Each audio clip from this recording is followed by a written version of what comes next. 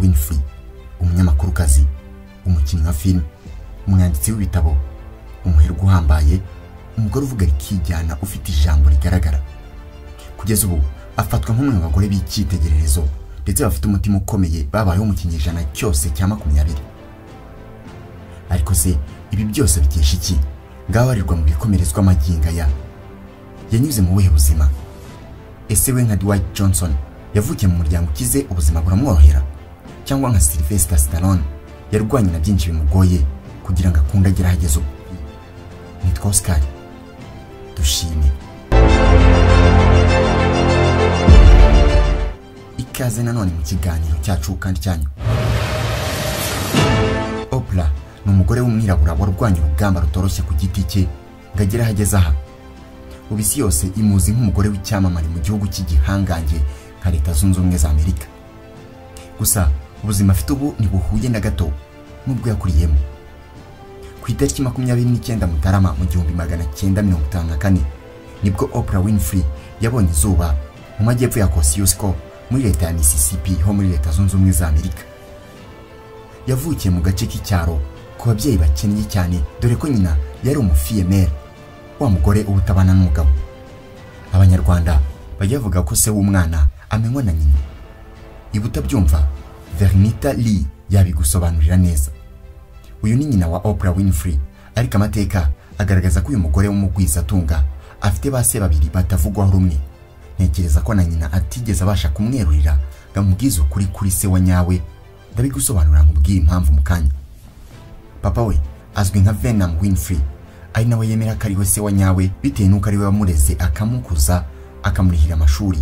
Gusa hari n'undi musore witwa Noah Robinson uyu nawe yatangaje anemeza ko ari we se wa Oprah. Ntumbaze ngo muri aba ninde se wa nyawe kuko nanjye nkusubije nakubwira ngendeye kuwo Oprah yiyemerera kandi wenda nyina yarashyingurana iryo banga. Ntagire n'umwe aribwira nyina yakoraga akazi ko mu rugo ngo abashe kumutunga. Nyamara nako ntikari gahagije ngo kabakure mu bukene bari babayemo muri aka gace ka Kosciuszko dore ko n'uwari gukora cyane ngo abatunge babeho neza ari we papa we wari umusirikare. Byarangiye akivuyemo akagana umwuga w'ubwogoshi. Nawe yakoraga ngo yirwaneho we ku giti cye atitaye ku mugore n'abana. Uyu Vernon Winfrey yaje kumenya ko Oprah ari umukobwa we. Igihe yoherezwaga amafoto ya Oprah Winfrey anasabwa byibuza koherereza umukobwa we imyenda yo kwambara. Bitewe n'uko Oprah yambaraga imyenda mu by'ukuri mibi mibi cyane ariko agahora asekwa n'abana bagenzi be. Bituma nyina amusiga kwa nyirakuru akiri muto ajya gushaka imibereho mu majyaruguru. Aho nakita mu mujyi avuye mu cyaro Hatima Lee yamureze imyaka itandatu ye ya mbere yose atamubembekereza nubwo yari umukene bikabije yatoje Oprah byinshi atazibagirwa na gato. Bitandukanye n'ababyeyi bo muri biriya bihugu nyirakuru we ntiyatinyaga kumuzitura umunyafu igihe yabaga yakosheje cyangwa se yateshutse ku nshingano ze. Abana bagenzi be bahoraga bamuseka cyane bamunyega. Kuko nta myambaro iboneye yagiraga bitewe n'ubukene bw'iwabo. Kugira ngo bumve urwego rw'ubukene bariho Oprah yambaraga imyenda ikoze mu mifuka yahahirwagamo ibijumba. Ariko ageze ku myaka itandatu nyina yamujyanye mu mujyi bava mu gace ka Kosciuszko ho muri Mississippi. Icyo gihe bakihava bimukiye muri Wisconsin. Aha noneho Oprah yari agiye kuhahurira n'uruva gusenya kuko nyuma y'imyaka itatu gusa bahimukiye yafashwe ku ngufu na nyirarume. Ubanza ari bya bindi abanyarwanda bavuga ngo nyokoro makuru makurora.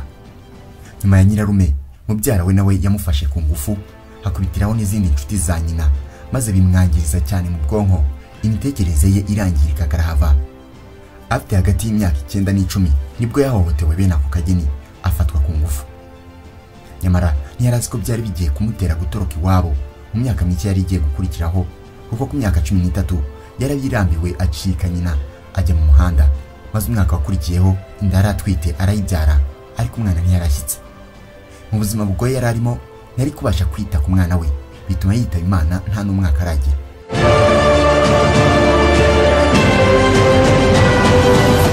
Gusa Oprah mu bitekerezo bye ntihabagamo ko azahora ari umukene. Ibyo bigatangaza buri wese uburyo yigiraga icyizere kandi yari umutindi wo kubabarirwa muri icyo gihe. Kimwe mu bintu byatumye atoroka nyina ni uko nubwo babaga mu bukene bukabije gutyo bitamubuzaga gukomeza abyara abandi bana kandi abizi neza ko ntacyo kubatungisha.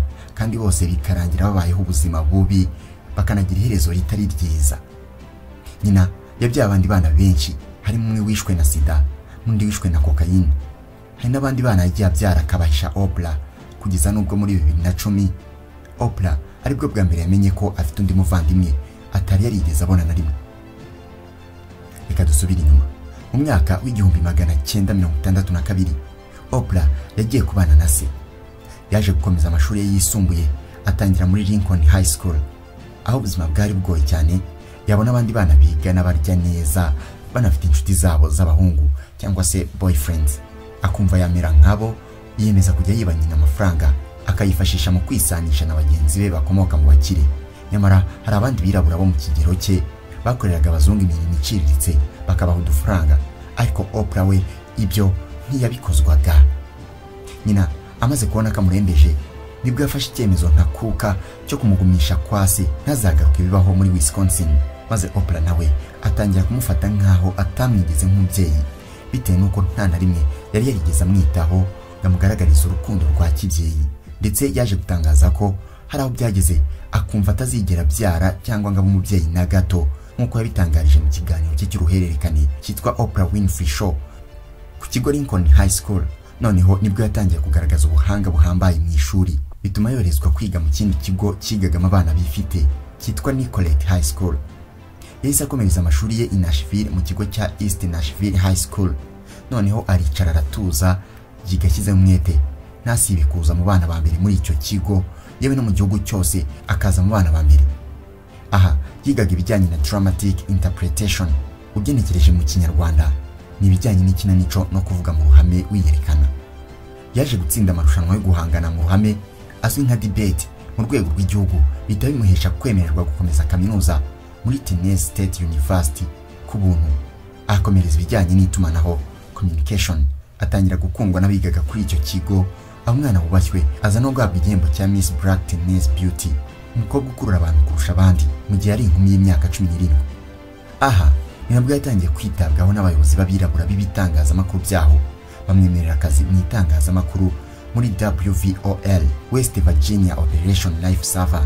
Iyi ni radiyo ikora iby'imyidagaduro rock na urban oldies John Heidelberg yari umwe mu bayobozi b'igitangazamakuru cyahaye bwa mbere Oprah akazi. Kuri radiyo ahubwo yabonaga impano imurimo itari yo kuzahora kuri radiyo ahubwo agomba kuzaba umunyamakuru mwiza wa televiziyo. Byamusabye gutoza Oprah ngo atangire umwuga we wo kuri radiyo nawe aramukundira afata vuba. Yahise ahabwa amasezerano yo kujya abona amadolari ijana buri cyumweru.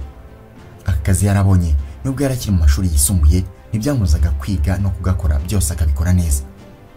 Uretse ibyo John Heidelberg wari warabonye ko uyu mukobwa agomba kuzajya kuri televiziyo byanze bikunze yatangiye kumutoza kujya kuri kamera ubwo yari afite imyaka cumi n'irindwi. Ari na cyo gihe yabaye nyampinga wa kaminuza ya Nashville akikijwe n'abandi bakobwa b'abazungu.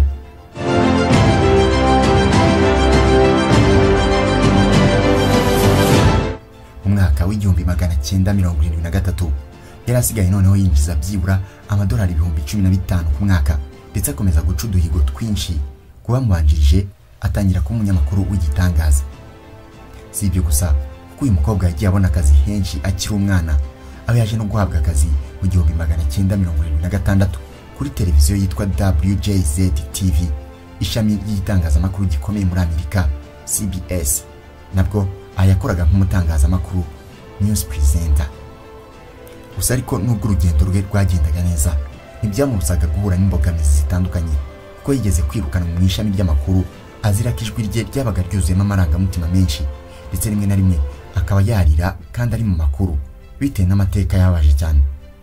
Bimwe mu biganiro yakoze bigakundwa cyane harimo icyitwa Dialing for Dollars na People Talking n'icyitwa I Am Chicago yakoreye kuri WLS TV kuva ubwo amateleviziyo atari make yatangiye kumwifuza ngo ayakorere ibiganiro nk'ibyo by'imyidagaduro kubera impano bamubonagamo yo kumenya kuvuga neza ndetse n'uburyo yari umunyamakuru mwiza na byo bikomeza kumwongerera igikundiro muri rubanda. Ubwo rero ni bwo yagize igitekerezo cyo gukora ikiganiro cye bwite akita Oprah Winfrey Show. Kikaba ikiganiro gikunzwe aho cyaje kumuhesha ibihembo byinshi binyuranye nk'icyitwa Pulitzer Prize.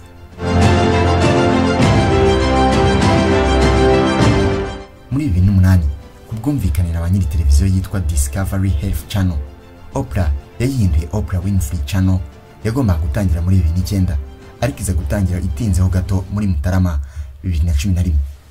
Muri bibiri na cumi na karindwi Oprah yaje gukorana na BBC mu kiganiro 60 Minutes. Baza gutandukana nyuma. Si ibyo gusa kandi kuko ibitangazamakuru byinshi bikomeye byakomeje kwitabaza Oprah amashyirahamwe n'amakompanyi menshi yakomeje kumwitabaza nk'ikiraro cyiza cyo kugera ku bakiriya babo. Mu basitari cyangwa se ibikomerezwa Oprah yahaye interview. Harimo nyakwigendera Michael Jackson. Hari mu gihumbi magana cyenda mirongo cyenda na gatatu. Ikiganiro bagiranye cyaciye agahigo ko kuba ikiganiro cya kane gikurikiwe mu mateka ya televiziyo za leta zunze ubumwe za amerika aho byibura miliyoni zirenga mirongo itatu n'esheshatu z'abantu bari bicaye imbere y'amateleviziyo yabo bari kugikurikira kiri kuba ako kanya live. Mu buzima bwe bwite mu bijyanye n'urukundo nubwo yahohotewe akiri muto ntibyamubujije kugira amarangamutima ku basore batandukanye nubwo bamwe bagiye batandukana. Yakundanye na Anthony Otey bakiri mu mashuri yisumbuye.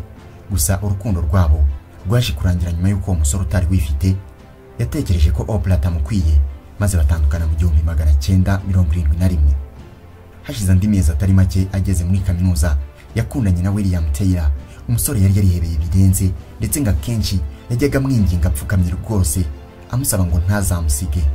Ariko Taylor byaje kurangira ahisemo ko batandukana Oprah nawe no baracyavuga ko urwo ari rwo rukundo ruhambaye yagize mu buzima bwe. Dore ko ari kumwe na Stedman Graham kuva mu gihumbi magana cyenda mirongo inani kugeza na magingo n'aya ariko ntibarashyingiranwa byemewe n'amategeko nubwo bambikanye impeta.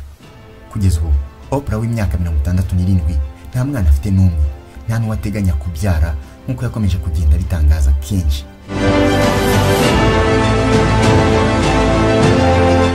Nubwo yakuriye mu bukene ariko ubu ni umukire uvuga rikijyana bitewe n'umutungo uhambaye afite. Kugeza ubu afite umutungo ubarirwa mu kayabo ka miliyaride ebyiri na miliyoni magana atandatu z'amadolari. Oprah ku myaka mirongo itatu n'ibiri yari atangiye kwinjira muri ba miliyoneri ku myaka mirongo ine n'umwe yari afite miliyoni magana atatu mirongo ine ku rutonde rwakozwe na Forbes. Nyuma yaho muri bibiri na kane kugera muri bibiri na gatandatu yashyizwe ku rutonde rw'abamiliyarderi bakize ku isi ari nawe mwirabura w'umugore wenyine rukumbi warimo. Muri bibiri na cumi na rimwe yashyizwe ku mwanya wa mbere nk'umwirabura w'umunyamerika ukize kurusha abandi. Mu babayeho bose mu kinyejana cya makumyabiri. Winfrey yagiye yandikwa mu binyamakuru bikomeye urugero nka CNN nk'umugore ukomeye wabayeho wavutse mu kinyejana cya makumyabiri. Muri bibiri na cumi Life Magazine yashyize Oprah ku rutonde rw'abantu ijana bahinduye isi ahazi inyuma ya Yesu h'imyanya itatu havuyeho Elvis Presley umunyabigwi w'abanyamerika na Lady Mary Montagu